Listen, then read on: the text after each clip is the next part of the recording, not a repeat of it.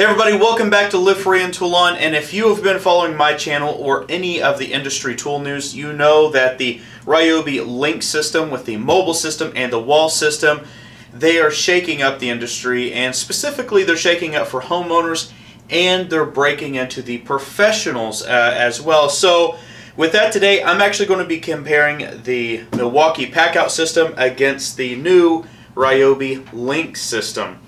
Now, a couple things right off the top. These two are direct competitors to each other. What I mean by that is that they are in the same dimensions and they kind of work on the same level to one another when it comes to storing tools and maneuvering them. These are both for the mobile systems, but they work on the walls just the same. So, uh, right off the bat, let's go over the cost. This is $45 and this is $80. So this is geared towards professionals, uh, guys in the field. They're going to use this on their professional jobs every day, all day. They leave it out in the winter. They leave it out in the rain all the time. I see them in the back of trucks all the time, and that's what you're going to see here. This this is IP65 rated. Uh, it's very new. I haven't seen it in anyone's back of their trucks. Uh, I'm not so sure that that would be such a great idea, but it does have gasketing on the inside. But uh, you know, we've talked about the pricing, we've talked a little bit about that. Let's talk about some of the quality and just some of the uh, right off the bat quality changes. The feel of these, um, the, the Milwaukee Packout, it's not going to be a surprise to people, but it feels a lot more quality, it feels a lot more sturdy than this. This feels like it's a lot more, you know, softer of a plastic than this. You know, just the buckles by themselves. You have a thicker diameter on the buckle. Um, the hinges are beefier as well. As you can see, this is a, uh, 1, 2, 3, 4, 5, 6. This is a 6 forked hinge to where this is a 1, 2, 3, 4, 4. So, you know, smaller diameter. The hinges are a little less beefy as well. Um, and they, they're, it's a little bit easier on this as well. As you can see here. Let's take this one off. Um, it they, this does have a hasp for a lock right here, and this one has one as well. Now the big difference is this is lined with a steel washer on the inside, so it's a little bit more secure, but it is just plastic, right? So somebody wanted to cut that. They're, they're going to cut it. Um, taking a look at the outside of it, if we just kind of spin these around here, um, there's, there's not really much protection on this. There's no really uh, protection on the bottom uh, here. This is just a you know plain plastic. Um, it does have handles on the sides, and it does have some you know ribbed uh, protection right here. You know, uh, then when you come to this, this actually has handles that go on the side to where you can you know strap them down. It is reinforced. You can see you know that there's there's a lot of good quality, um, and and it's a really good hard plastic as well that goes on the pack out. These do, these do have handles let's go ahead and take a look on how this actually attaches. Let me just close these up real quick.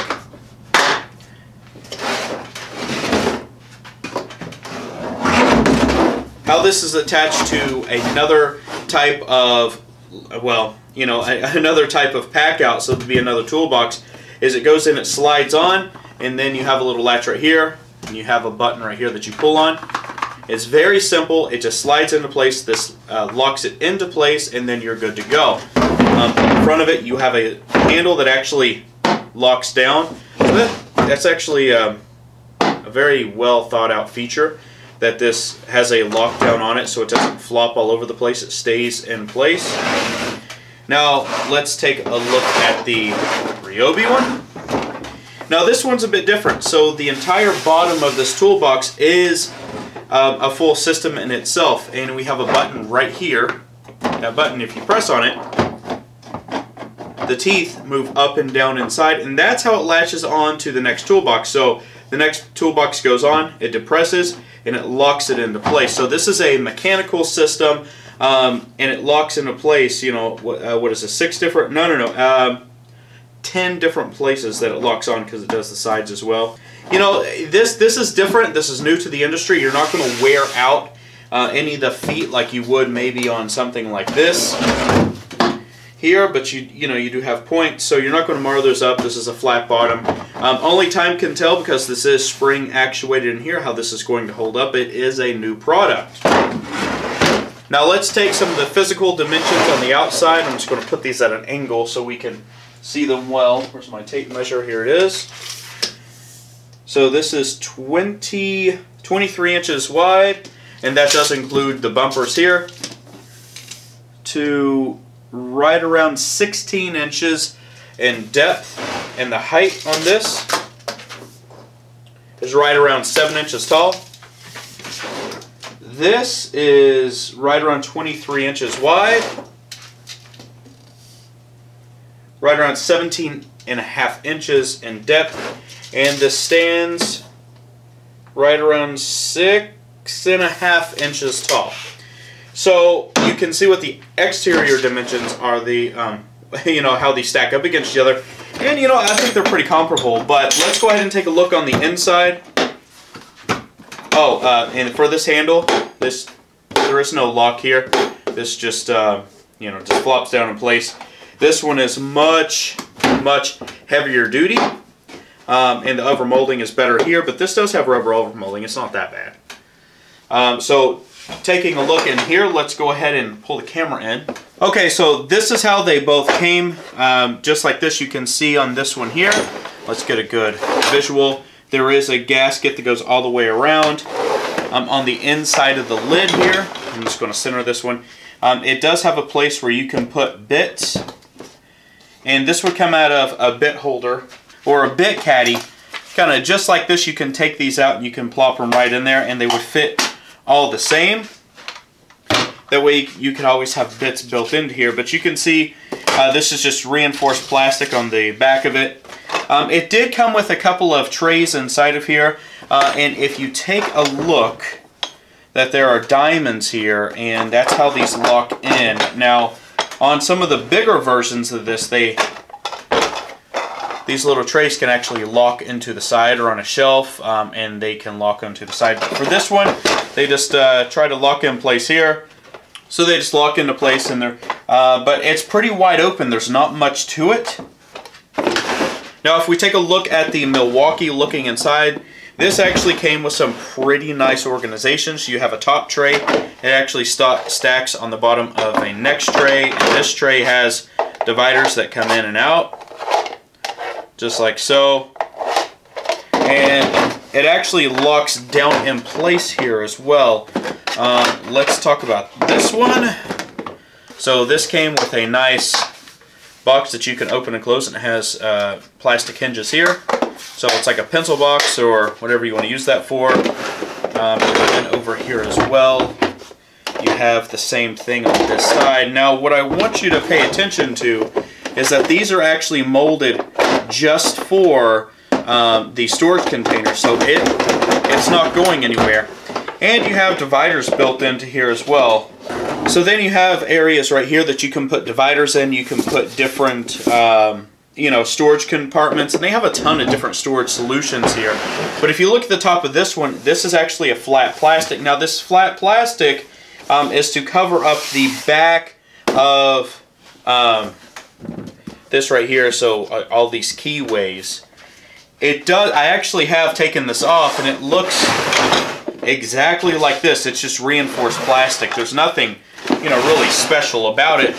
But as I got to looking at this, it was very thoughtful. The reason why they put this flat area on here is so that all of these open trays, when you close it, well, it actually seals it in so, you know, none of your bar, uh, bits or parts or anything like that are going to come out. So, you know, that's really nice to see. And another cool, really nice design area uh, is that you have this really nice heavy duty rubber gasket that's right here. Now I know that's hard to see, but if you do have water that gets into there, right along here, and it may be hard to see, there's little holes. So you have weeping holes in the back, so the water actually gets out of there and it's able to dry up.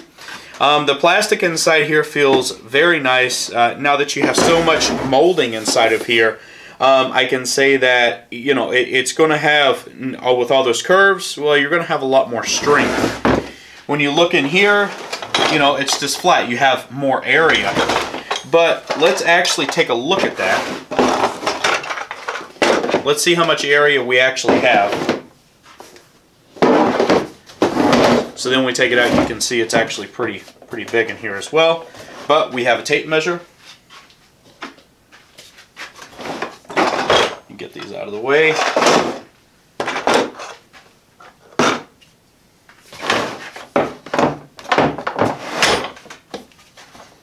Okay, so the interior dimensions, this is 20 inches by right around 14 and a quarter. This is 19 inches by, well that's only 12, uh, but 13 is the maximum this way here. So in the depth See right here, that's right around three and three quarters. And this one here is right around four and a half. So this one is quite a bit more deep. Um, and this one is dimensions, length times width is bigger here. So um, I can say I think that would balance each other out whenever you're looking at this. I think the locking mechanisms in here and the organization is far superior than what you would have here. So all in all, when I look at these two, I think this is kind of, you know, a cross category. Maybe somebody is just getting into the industry and they can't afford the best type of storage tools. I think this will work out just fine. I think for homeowners, this is absolutely perfect. Um, I think for professionals um, and for, you know, even homeowners, I think this is probably, a, you know, pretty much overkill for homeowners, uh, but I think for professionals, this is this is the most popular mobile tool storage system, you know, I, I think ever. So, you know, I think they have a huge, huge corner on the market for here. But these, both of these companies, Ryobi and Milwaukee, they're both owned by TTI. So, you know, they are most certainly going to make this, you know, towards a certain customer. They're going to make this towards a certain customer as well. Um, I think already this is the biggest mobile tool storage system that has hit the marketplace in terms of residential, you know, homeowners, things like that, um, that that's ever came out. The versatility of this system from going on walls to, you know, being mobile is right up there. So I think that uh, the Milwaukee really paved the way for it. Now, this is essentially half the price of this. And I think in the quality of details, that's where you see it. The hardening of this system, the durability, uh, you know, the thought out, thought out engineering of this, it really shows. Now, at half the price, um, I think this is the way I'm going to go because I'm not using this at work. I'm using, you know, other tools. So I would give this a huge thumbs up and I would give this a huge thumbs up. For the price point of where this is at, this is a fantastic tool storage system, especially for the real estate you have inside to store all of your tools. I think this is an excellent storage system because A, it is basically waterproof. Um, you know, B, the durability of it is fantastic. Versatility as well. I don't think you can go wrong.